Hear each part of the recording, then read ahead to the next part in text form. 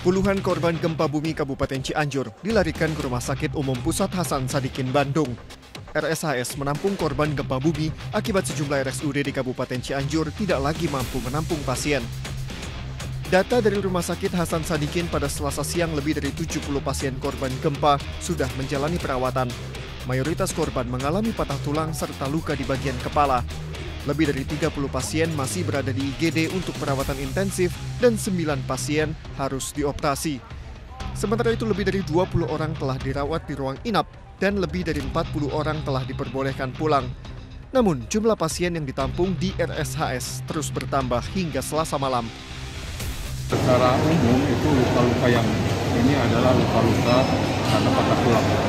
Patah tulang, di samping itu juga ada yang cedera kepala ada yang ringan, sedang, ada yang berat.